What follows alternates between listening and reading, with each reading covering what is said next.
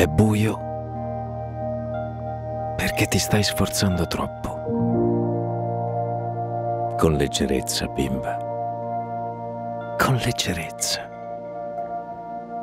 Impara a fare ogni cosa con leggerezza. Sì, usa la leggerezza nel sentire, anche quando il sentire è profondo. Con leggerezza, con leggerezza lascia che le cose accadano e con leggerezza affrontale. Dunque, getta via il tuo bagaglio e procedi. Sei circondata ovunque da sabbie mobili che ti risucchiano i piedi, che cercano di risucchiarti nella paura, nell'autocommiserazione e nella disperazione. Ecco, ecco perché devi camminare con leggerezza, con leggerezza, tesoro mio.